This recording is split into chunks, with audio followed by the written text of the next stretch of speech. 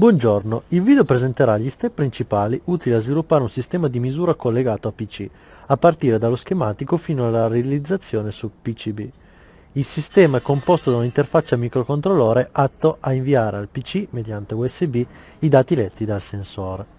Le specifiche che dovrà soddisfare il sistema di misura progettato sono le seguenti. In particolare dovrà comprendere tutti i blocchi necessari ad acquisire i dati dal sensore per poi trasferirli al PC. L'intero sistema inoltre dovrà essere alimentato unicamente dal PC mediante il cavo USB. Per prima cosa occorre creare il simbolo del sensore che si utilizzerà, se non presente in libreria. A tal proposito creiamo una nuova libreria, inseriamo un nuovo oggetto chiamato MPX5100 nella finestra che si apre disegniamo il simbolo e inseriamo i pin di interesse, come ad esempio l'uscita analogica, definita Vout e i pin di alimentazione, ricordando che il tipo di quest'ultimi deve essere Power. Terminato il disegno otterremo il seguente risultato. Un procedimento analogo verrà seguito per la creazione del simbolo del microcontrollore. A questo punto creiamo il progetto dell'intero sistema. Verrà adottata la strategia della struttura gerarchica, che permette di dividere l'intero schema in sottoblocchi, al fine di ottenere una progettazione modulare. Partiamo dalla parte relativa al sensore. Aggiungiamo la libreria creata nello step precedente, cliccando sull'apposito pulsante. Di conseguenza inseriamo il sensore. Aggiungiamo poi ogni altro componente utile, quali condensatori di disaccoppiamento ed eventuali filtri. Ogni nuovo oggetto è inserito facendo doppio clic sul relativo nome della lista. Cliccando il tasto R è possibile ruotare l'oggetto. Il circuito RC è utile a filtrare ogni rumore con frequenza superiore alla massima banda del sensore. Questo rappresenta infatti il filtro di anti-aliasing per la DC del microcontrollore. Aggiungiamo infine le porte del blocco, nominandole in maniera significativa, per poterle facilmente riconoscere a livello superiore. Esse verranno infatti utilizzati per i collegamenti al top level. Finito il piazzamento si procede a connettere le varie parti. Lo stesso procedimento viene utilizzato per lo schematico del microcontrollore, in cui saranno presenti i collegamenti lato USB e lato sensore.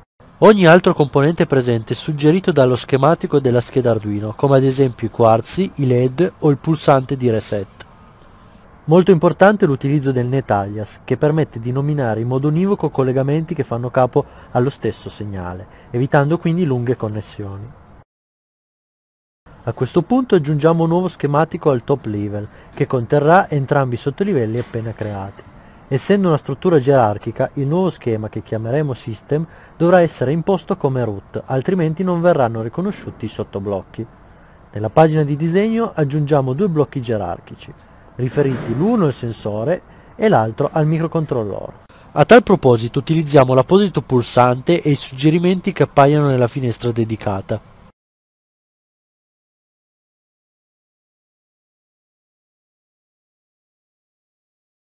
I sottoblocchi sono rappresentati da rettangoli che possono essere modellati a piacimento.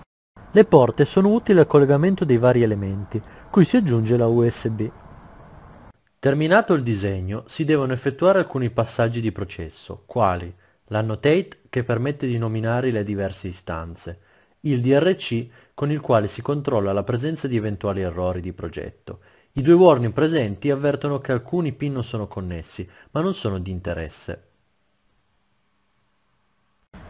Per ultimo il Bill of Material, il quale genera la lista dei componenti utilizzati per la fabbricazione. A questo punto lo schema è finito e si può procedere alla progettazione del PCB. Per iniziare occorre creare i footprint mancanti per alcuni simboli, come quello del sensore di pressione. A tal proposito si utilizzerà la procedura guidata, con la quale è possibile creare il layout del componente inserendo solamente alcuni parametri importanti per la realizzazione, come le dimensioni e il numero di pin e la topologia di quest'ultimi.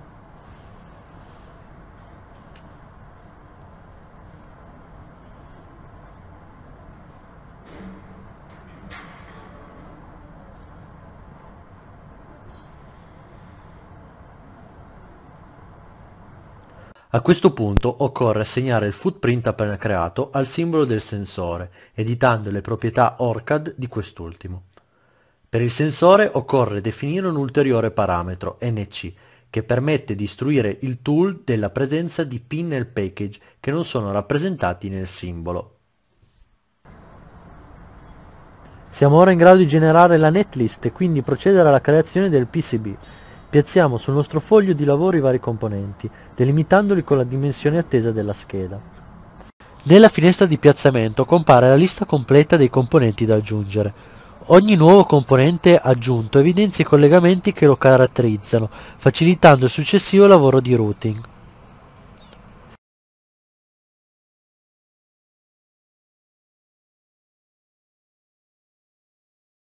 Il bordoscheda viene aggiunto disegnando un rettangolo che abbia le proprietà di board geometry selezionabili nelle schede Option. Oltre al bordo fisico occorre delimitare anche il limite esterno del package e delle piste, utilizzando questa volta il comando zcopy.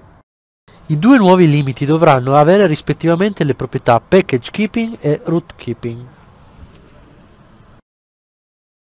Possiamo ora procedere con il routing, inserendo le piste e impiegando dove necessario i via per accedere al layout secondario e superare l'ostacolo. Durante tutta la procedura di routing il DRC è sempre attivo, rappresentato dal rettangolo in basso a destra. Qualora esso fosse rosso si interviene immediatamente correggendo l'errore.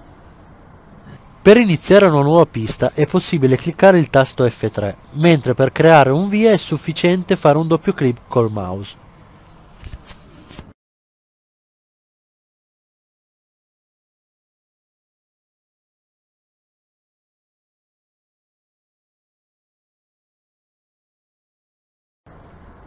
Giunti al termine possiamo ora definire il piano di massa, creando un'area di rame e assegnandola al segnale di riferimento.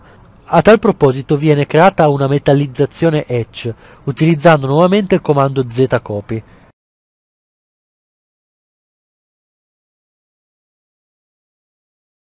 Una volta creata è possibile modificare le opzioni in modo da assegnarle al segnale desiderato.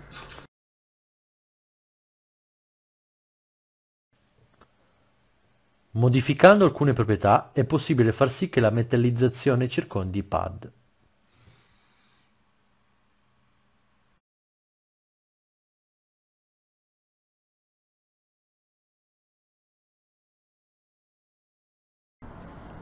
Ultimo step è la creazione dei Gerber file, utilizzati in ambito industriale come standard per la fabbricazione. Essi si compongono delle metallizzazioni di ogni layer e dei vari drill.